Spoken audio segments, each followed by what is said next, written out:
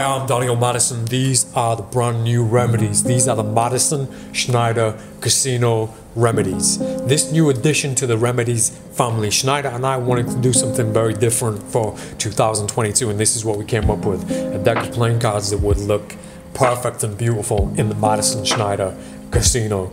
I'd like to let the color, the design, pretty much everything about this deck speak for itself, but there are two things in this deck that I'm particularly excited about and I uh, want to share with you right now. The first one is a very simple block color playing card. This is a cutting card.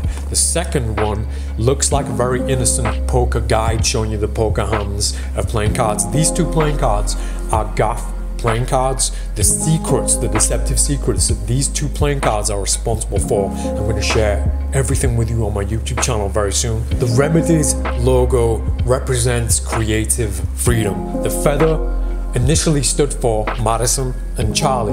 The rose for Schneider, black roses. But when we brought them together, we discovered something beautiful. This symbol that stood for creative freedom. The feather represents flight, freedom. It's also a quill for creativity. The rose represents romantic beauty and the poetry of storytelling, which is what we as magicians do every time we use a deck of playing cards. And the most important thing about this logo is that we didn't want it to be just our logo, we wanted it to be a symbol for creative freedom.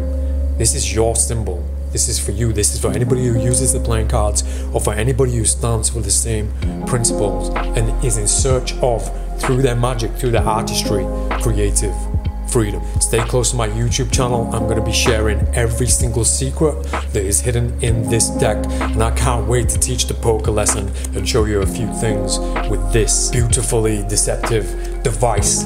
I am Daniel Madison and these are Madison Schneider Casino remedies.